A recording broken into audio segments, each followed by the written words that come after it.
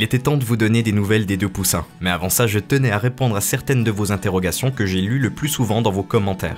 Pour ceux qui n'auraient pas vu la première vidéo, je vous invite à cliquer d'abord sur le lien dans la description. Avant d'être un produit agricole utilisé comme aliment, l'œuf est évidemment un moyen de reproduction. Les œufs sont en fait des ovules que les poules produisent et expulsent de façon régulière, même sans la présence de coque. Le jaune est parfois considéré comme un futur poussin, mais il s'agit en fait de l'aliment dont l'embryon se nourrit pendant son développement. Concernant la matière blanchâtre qu'on aperçoit souvent en cassant un œuf, il ne s'agit pas d'un début d'embryon ou de la semence du coq comme certains le pensent, mais simplement du filament qui maintient le jaune au centre du blanc. D'ailleurs, plus l'œuf est frais, plus ce filament est visible. Il y a plus de 7000 ans, l'homme a domestiqué les poules, car contrairement à d'autres oiseaux sauvages, elles ne pondaient pas qu'au printemps mais produisaient des ovules presque toute l'année. Cette caractéristique a été exploitée par l'homme à son maximum. En 1930, la production annuelle d'une poule était d'environ 60 œufs alors qu'elle est de 300 actuellement. Pour en comprendre les raisons, je vous propose d'aller visiter un élevage biologique. Ce sera aussi l'occasion de vous expliquer comment l'expérience a pu fonctionner.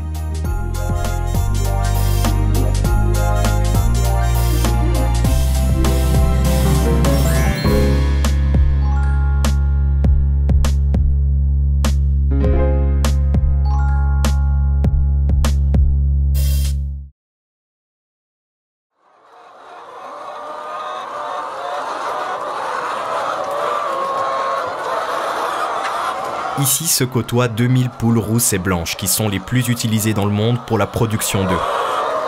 Pour la production de viande de poulet, c'est une autre race très différente de celle-ci qui est utilisée.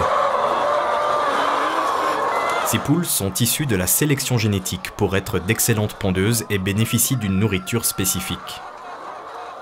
Afin de stimuler la ponte, leur abri est éclairé artificiellement pour maintenir au moins 14 heures de lumière par jour, même en plein hiver. Les poules pensent alors que c'est toujours le printemps et pondent plus de 300 œufs en une année avant de finir à l'abattoir. Elles ne sont gardées en production qu'un an car leur capacité de ponte diminue avec les années. Et les industriels ont évalué qu'il est plus rentable de renouveler la colonie. En Europe, la majorité des poules restent enfermées à l'intérieur et bien souvent dans des cages minuscules et sans litière afin de produire les œufs les moins chers du marché. Ces œufs de poule en cage, qui ne verront jamais la lumière du soleil, sont reconnaissables au code apposé sur chaque coquille qui commence obligatoirement par le chiffre 3. Les œufs de poule élevés au sol et sans accès à l'extérieur portent le chiffre 2. Le 1 est réservé à l'élevage avec un accès en plein air. Finalement, le 0 correspond à un élevage comme celui que je vous présente, qui nourrit les poules de façon biologique, tout en leur donnant de l'espace supplémentaire les poules se dirigent instinctivement dans la tranquillité des pondoirs pour y pondre leurs œufs qui basculent ensuite sur un tapis roulant afin d'être facilement collectés. Mais surtout, elles ont ici la possibilité de connaître la vie en dehors du bâtiment, et le moins qu'on puisse dire, c'est que ce n'est pas l'envie qui leur manque.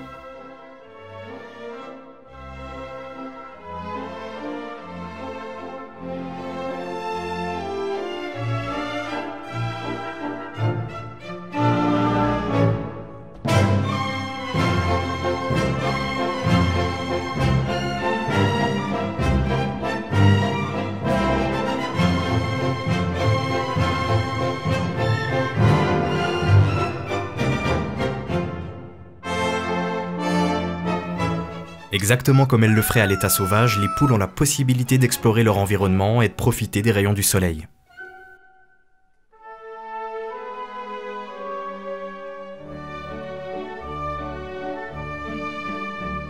Vous avez été nombreux à être surpris par la présence de coqs dans certains élevages qui fournissent les supermarchés. L'agriculture biologique suisse recommande de mettre des coqs dans les troupeaux de poules pondeuses parce que cela fait tout simplement partie de la vie naturelle des poules. Ce n'est cependant pas une obligation et cette recommandation n'existe d'ailleurs pas en France ou en Belgique. De par leur nature même, les poules vivent en harem, c'est-à-dire que plusieurs poules vont naturellement vers le même coq. Le coq veille à l'harmonie du troupeau et à la protection des femelles, par exemple en les avertissant de l'approche d'un rapace.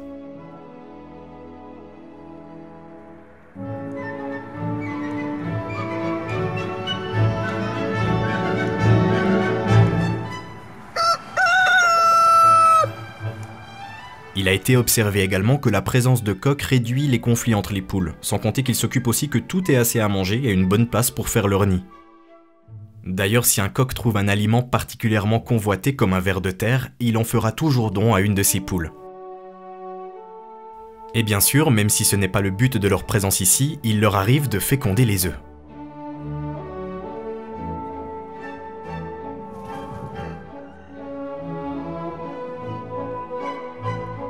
L'aurez compris, dans les élevages de poules où il y a des coques, il est donc possible que des œufs soient fécondés. Il faut bien comprendre que ces œufs sont parfaitement consommables et qu'ils proviennent d'ailleurs d'élevages plus respectueux.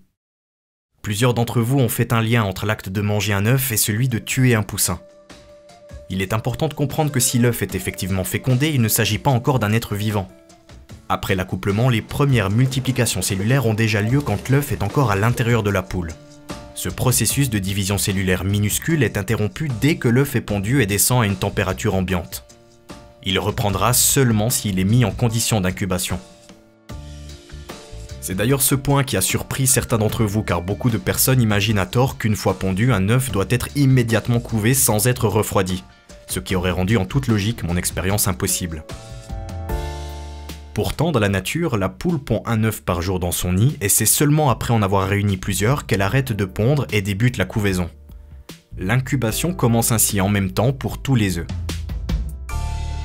Lorsque j'ai placé les œufs dans la couveuse, j'ai reproduit à petite échelle ce qui se passe dans les couvoirs industriels dans lesquels des milliers d'œufs sont incubés dans d'immenses couveuses. La science actuelle ne permettant pas de déterminer le sexe du poussin avant sa naissance, la quasi-totalité des poussins mâles qui y naissent sont euthanasiés dès leur premier jour de vie, en raison du fait qu'ils ne pondent pas d'œufs et n'ont pas la génétique adaptée à l'engraissement. Les poussins de poule sont nidifuges, c'est-à-dire qu'ils sont capables de se déplacer et de se nourrir pratiquement comme un adulte peu de temps après leur naissance.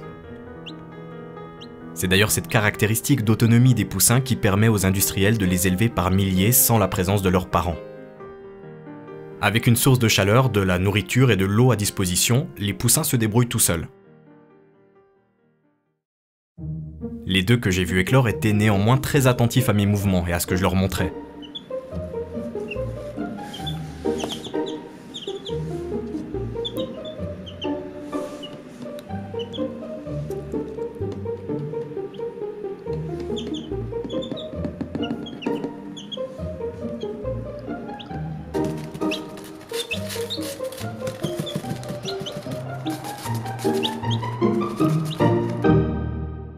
Vous avez été beaucoup à m'écrire pour savoir où acheter une couveuse pour reproduire l'expérience.